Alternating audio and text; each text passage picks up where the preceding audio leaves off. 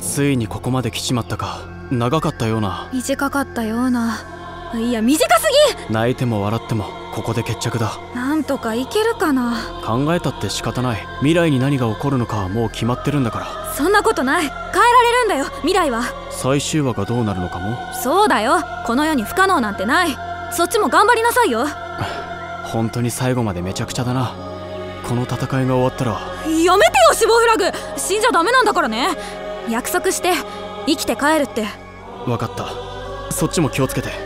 次回「ゴジラ SP 最終話。始まりの2人」